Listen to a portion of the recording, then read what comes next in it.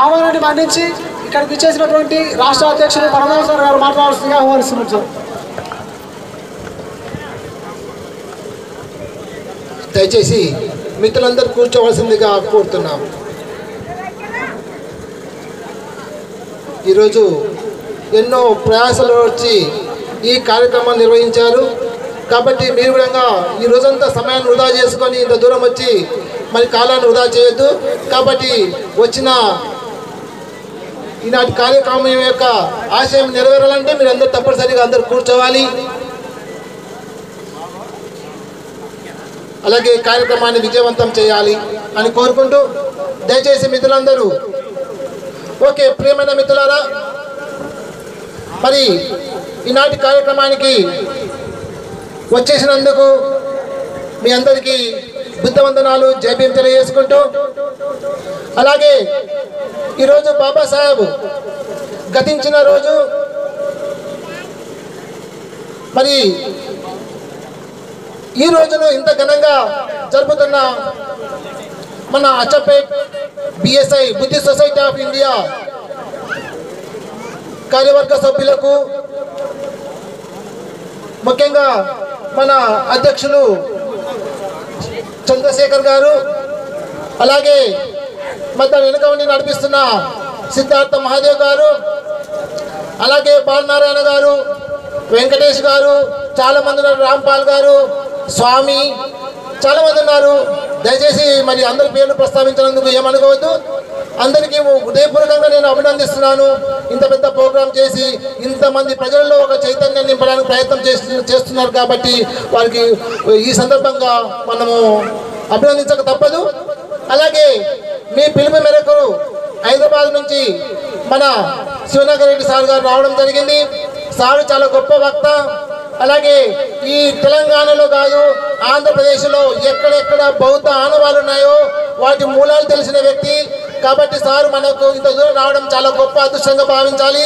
కాబట్టి మిత్రులందరూ దయచేసి కూర్చొని మరి ఈ ఈ నేల యొక్క చరిత్రను తెలుసుకోవాల్సిందిగా కోరుతున్నాము.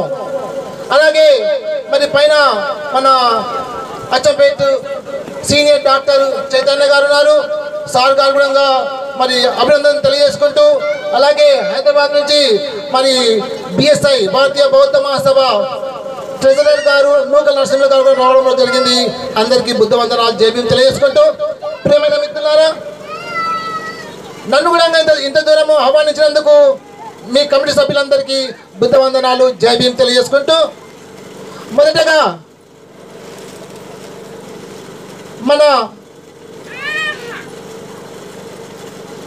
ఈ దేశానికి ఈ ప్రపంచానికి బౌద్ధాన్ని అందించిన బుద్ధ భగవాన్కి మరి ఆ బుద్ధ భగవాన్ యొక్క సిద్ధాంతాన్ని ప్రపంచము నలుమూలలా వ్యాపింపజేసిన సామ్రాట్ అశోక చక్రవర్తి గారికి అలాగే బౌద్ధం కనుమరుగవుతున్న సమయంలో తిరిగి పునఃస్థాపితం చేయడానికి కంకణం కట్టిన బాబాసాహెబ్కు బుద్ధవందం తెలియజేసుకుందాం. ముఖ్యంగా మరి ఈ బౌద్ధం ఏంటిది? మీకు తెలుసు ప్రపంచంలో అనేక దేశాలు అనేక మతాలు అనేక ప్రాంతాలు ఉన్నాయి అనేక వేల భాషలు ఉన్నాయి వేల మతాలు ఉన్నాయి. ఈ మతాలలో అన్నిటిలో ప్రధానమైన నాలుగే నాలుగు మతాలు ఉన్నాయి ఒకటి క్రిస్టియానిటీ అధిక మొత్తంలో ఉంది. రెండవది ఇస్లాం. మూడవది హిందూ మతం. నాలుగవది బౌద్ధం. ఇవి కాకుండా ఇంకా చాలా ఉన్నాయి. అలాగే దేశంలో వివిధ దేశంలో వివిధ ప్రాంతాలలో వివిధ దేవతలు ఉన్నారు. ఇక్కడున్న దేవతలు అక్కడ లేరు అక్కడున్న దేవతలు ఇక్కడ లేరు. ఇక్కడున్న మతము అక్కడ లేదు అక్కడున్న మతములు ఇక్కడ లేదు. అంటే ఎన్ని మానవుడు సృష్టించుకునే కానీ ఏ దేవుడు సృష్టించదు కాదు అని మాత్రం గుర్తుంచుకోవాలి. ఈ దేవుళ్ళైనా ఈ మతాలైనా మనుషులు సృష్టించినవే కానీ వాటిలో మునిగి మన జీవితాలన్నింటిగా చిద్రవతం చేసుకుంటున్నాం. అలాగే మరి ఈ నాలుగు మతాలలో ప్రధానంగా ఈరోజు ప్రపంచంలో అంతర్జాతీయ మతాలంటే మూడే మూడు. ఒకటి క్రిస్టియానిటీ ఒకటి ఇస్లాం మూడవది బౌద్ధం. అన్ని మతాలు దేవుడు ఆత్మ చనిపోయిన తర్వాత పునర్జన్మ గురించి బోధిస్తాయి. కానీ మరి బౌద్ధము ప్రజ్ఞ శీల్ సమాధి. ఈ మూడిని బోధిస్తుంది బౌద్ధం. బౌద్ధం ఏం బోధిస్తుంది? శీల్ సమాధి ప్రజ్ఞ. మరి మానవుడు సుఖంగా జీవించాలంటే ఏం కావాలి? పూజలు చేస్తే సుఖంగా జీవిస్తామా? ఒకసారి చెప్పండి. ఎలా సుఖంగా జీవిస్తాము? ప్రతి మనిషిలో దుఃఖం ఉంది. బుద్ధ భగవానుడు సుమారు ఆరు సంవత్సరాలు పరిశోధించి ఈ సమాజంలో ప్రతి ఒక్కరిలో దుఃఖం ఉంది. పసిపిల్లలతో కూడుకుంటే ముసలివాడి వరకు అందరిలో దుఃఖం ఉంటుంది. ఆ దుఃఖము శారీరక దుఃఖం కావచ్చు మానసిక దుఃఖం కావచ్చు. మరి ఈ దుఃఖం చే ఎలా పోతుంది? అంటే ప్రేయర్ చేస్తే పోతుందా? లేకుంటే పూజలు చేస్తే పోతుందా? లేకుంటే వ్రతాలు చేస్తే పోతుందా? అని పరిశోధన చేశారు బుద్ధ భగవానుడు.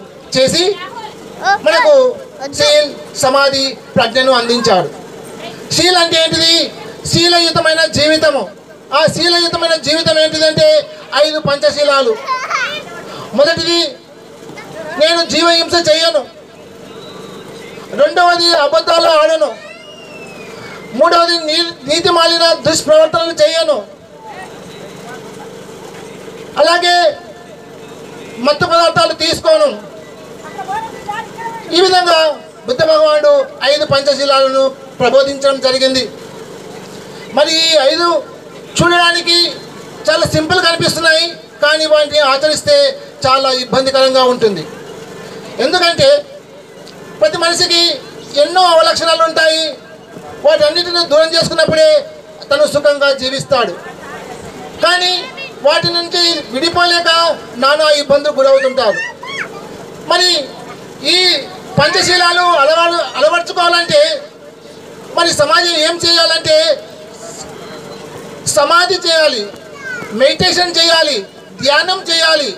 అప్పుడు మాత్రమే ధ్యానం వల్ల మీ మనసు మీ కంట్రోల్లో ఉంటుంది. మీరు అనుకున్న పంచశీలాలు పాటిస్తారు. అప్పుడు మాత్రమే మీ జీవితంలో సుఖమయం అవుతుంది. అంతవరకు మీ జీవితంలో సుఖమయం ఉండదు. అలాగే మరి ప్రజ్ఞ ప్రజ్ఞ అంటే ఏంటిది? ఏది ఏదైనా సరే నీవు చూసినప్పుడు మాత్రమే నీవు అనుభవంలోకి వచ్చినప్పుడు మాత్రమే గుర్తించాలి. ఇంతవరకు ఎంతమంది మరి దేవుళ్ళు ఉన్నారని పూజిస్తున్నారు. పూజించండి నో ప్రాబ్లం. కానీ మీరు చూసారా ఎవరైనా ఒక్కరు చూసారా మీ తాతలు చూసిండ్రా? మీ ముత్తాతలు చూసిండ్రా? ఎప్పుడు చూడలేదు. ఎప్పుడు చూడని దాన్ని మనము మరి ఆచరిస్తున్నామంటే ఒక్కసారి ఆలోచించండి. ప్రజ్ఞ అదే తెలియజేస్తుంది. ఏదైతే నీవు కళ్ళ ద్వారా చూస్తావో ఏదైతే నీ అనుభవం ద్వారా చూస్తావో అప్పుడు మాత్రమే మరి దాన్ని ఆచరించమంటుంది. సింపుల్ లాజిక్ ఉప్పు ఉంది చక్కెర ఉంది. రెండు ఒకే రకంగా ఉంటాయి. కానీ ఉప్పు పుల్లగా ఉంటుంది చక్కెర తీయగా ఉంది అని నేను చెప్పొచ్చు. కానీ మీరు దాని రుచి చూసినప్పుడు మీకు అప్పుడు దాని యొక్క విలువ తెలుస్తుంది. ఉప్పు పుల్లగా ఉంటుంది షుగరు తీయగా ఉంటుంది. అలా ప్రతి అంశాన్ని మీరు అనుభవంలోకి వచ్చినప్పుడు మాత్రమే వాటిని ఆచరించాలని బుద్ధ భగవానుడు తెలియజేయడం జరిగింది. ఏదేమైనా? మరి ఈ బౌద్ధము ప్రజలకు అందించిన సామ్రాట్ అశోక చక్రవర్తి ఒకవేళ లేకపోతే ఈ రోజు బౌద్ధ మనకు అందుబాటులో ఉండేది కాదు. కానీ ఈ ఈ యొక్క బుద్ధ భగవాన్ యొక్క ఆశయాలను సిద్ధాంతాలను రాతి పలకల మీద చెక్కించి మనకు ఎలా అంటే చెక్కించి మనకు అందించినందుకు అతనికి మనకు మనస్ఫూర్తిగా కృతజ్ఞత తెలియజేసుకుంటూ అలాగే తన పిల్లలను త్యాగం చేసి ఈ బౌద్ధాన్ని ప్రపంచమయం చేయడం జరిగింది. మరి అలాంటి స్థితిలో ఉన్న ఈ బౌద్ధాన్ని మరి ఈ మనం అందరం బౌద్ధులమే. అది మనకు తెలియకుండా ఉంటుంది. మన జీవితంలో జరిపే ప్రతి అంశమునంగా బౌద్ధాంతో లింక్ అయి ఉంటుంది. కానీ అది తెలియకుండా దాని పేరు మారిపోయి టైటిల్ మారిపోయింది. అందులో మనం జీవిస్తున్నాము. కానీ మనం ఆచరించే ప్రతి అంశము బౌద్ధం సంబంధించినది. కాబట్టి ప్రియమైన మిత్రులారా మరి ఈ బౌద్ధం కనుమరుగవుతున్న సమయంలో బాబాసాహెబ్ అంబేద్కర్ మరి తిరిగి బౌద్ధాన్ని ఆలోచించి బౌద్ధాన్ని స్టడీ చేసి చివరికి ఈ సమాజానికి సమాజము కొట్టుమిట్టాడుతున్న సమయంలో వీళ్ళు మళ్ళీ సుఖమయ జీవితం గడపాలంటే ఈ సమాజంలో ఉన్న సమస్యలన్నీ తొలగిపోవాలంటే బౌద్ధమే ఒకటే శరణ్యం కాబట్టి మరి అని పిలుపు ఆలోచించి మనకు పిలుపునిచ్చి నైన్టీన్ ఫిఫ్టీ ఫోర్లో nineteen fifty six October fourteenth రోజు మరి బౌద్ధాన్ని పిలుపుని ఇవ్వడం- ఇవ్వడం జరిగింది. అప్పుడు సుమారు మనకు ఆరు లక్షల మంది బౌద్ధం తీసుకోవడం జరిగింది. మరి ఈ బౌద్ధం ఎందుకు అంటే మన జీవితాల్లో ఉన్న అవలక్షణాలన్నీ తొలగిపోవాలి. మరి ఈ అవలక్షణాలు ఎలా తొలగిపోతుంది? అంటే కానీ అవలక్షణాలు మాత్రం అలాగే ఉండాలి. ఇది ఎలా సాధ్యమవుతుంది? ప్రతి మనిషిలో రెండు సంఘర్షణలు జరుగుతుంటాయి. ఒకటి ఏంటంటే ఒక ఒక మనసు ఒకవైపు ఏమో చేయదనిపిస్తుంది ఇంకో వైపు ఏమో మనసు చేయాలనిపిస్తుంది. సింపుల్ లాజిక్గా అరే బాబు నేను ఈ రోజు నుంచి మందు తాగొద్దురా బాబు అంటుంది. కానీ మళ్ళీ ఒక మనసు ఏమంటుంది? "ఆ, ఈ ఒక్కసారి క్షమిద్దాం ఈ ఒక్కసారి తాగేద్దాంలే ఏం కాదులే అని అనుకుంటారు. అంటే ఈ విధంగా మరి ప్రతి మనసులో ఈ చెడు పని చేయదని ఒక ఒకవైపు ఆలోచిస్తుంటే ఇంకో వైపు ఏమో చేయాలని కోరుకుంటుంది. అంటే ఈ మన మనసులోనే సంఘర్షణ జరుగుతూ ఉంటుంది. ఈ సంఘర్షణకు మరి తొలగిపోవాలంటే బౌద్ధమే శరణమని బుద్ధ భగవాన్ తెలి- తెలియజేయడం జరిగింది. ఇలా ప్రతి మన జీవితంలో ఎక్కడికో తీర్థయాత్రల వల్ల పూజల వల్ల వ్రతాల వల్ల పరివర్తన రాదు. ఓన్లీ మీరు ఎప్పుడైతే బౌద్ధాన్ని స్వీకరిస్తారో తప్పకుండా మీ జీవితంలో పరివర్తన వస్తుంది. ఈ బౌద్ధం ఎందుకంటే భార్య భర్తను ఎలా గౌరవించాలి? భర్త భార్యను ఎలా గౌరవించాలి? పిల్లలు తల్లిదండ్రుల పైన ఎలా ఎలా మరి తల్లిదండ్రులతో ఎలా ఉండాలి? మరి తల్లిదండ్రుల యొక్క పిల్లల బాధ్యతలు ఏంటి అని తెలియజేస్తుంది. అయితే చాలా వరకు మనం ఏం చేస్తున్నామంటే పిల్లలను ముందు పెట్టుకొని సందర్భం వచ్చినప్పుడు తాగుతూ ఉంటాం. ఏంటంటే ఈ జీవితం ఎందుకు రాబాయి? తాగాలి తినాలి ఎంజాయ్ చేయాలి. అదే నీ కొడుకు తాగితే మనసు బాధపడతావు నీ కొడుకు చేయొద్దు అంటావు నీవు చేసే తప్పు లేదు కానీ నీ కొడుకు చేయకూడదని కోరుకు అదే బౌద్ధం అయితే నీవు చెయ్యవు నీ కొడుకు చెయ్యనియవు ఈ విధంగా బౌద్ధము చాలా గొప్ప సిద్ధాంతం. మరి అన్ని సమస్యలకు పరిష్కార మార్గము. కాబట్టి బౌద్ధంలో జీవిద్దాం. మరి బౌద్ధాన్ని ముందుకు తీసుకుపోదామని నేను కోరుకుంటున్నాను. అలాగే ఈరోజు బాబాసాహెబ్ గతించిన రోజు ఆయన మన కోసము సుమారు తన జీవితాన్ని తమ పిల్లలని అందరిని త్యాగం చేసి మన కోసము మరి తప్పించిన వ్యక్తి ఆయన యొక్క కృషి ఫలితాల వల్లే ఈరోజు ఒక మన మనుషులుగా జీవిస్తున్నాం.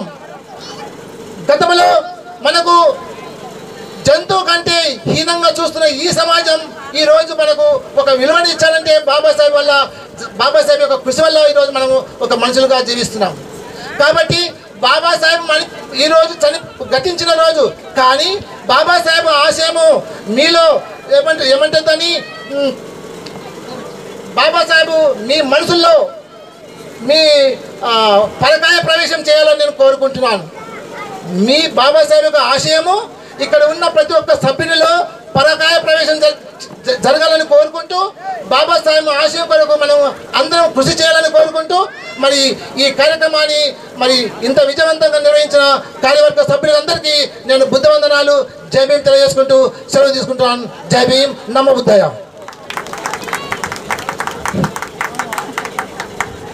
బీఎస్ఐ ఆహ్వానాల మేరకు ఎంతో రిస్క్ వ్యయ ప్రయాసాలను వచ్చి ఇంత దూరం సుదూరుగా ప్రయాణం చేసి ఇక్కడికి విచ్చేసినటువంటి విచ్చేసి బౌద్ధ ధమ్మాన్ని బౌద్ధ ధమ్మం లోపల ఉన్న విశిష్ట సూత్రాలను చాలా చక్కగా వివరించిన వివరించినటువంటి రాష్ట్ర అధ్యక్షుడు పరమరామ సార్ గారికి జైబీములు నమోదాయ